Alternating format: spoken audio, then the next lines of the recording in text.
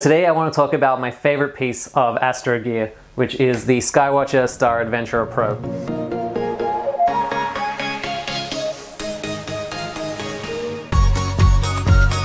I've had this for about 18 months now, and I just absolutely love the thing. And it's because it's just so capable and so portable.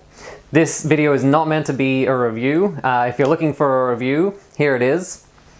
This is the best piece of Astro gear I've ever bought. If you're thinking about buying one, do it. End of review. What this video is going to be is just a demonstration of some of the images uh, that I've taken and that, you know, potentially one can take using this piece of equipment. It is really very capable, perhaps more than you may think.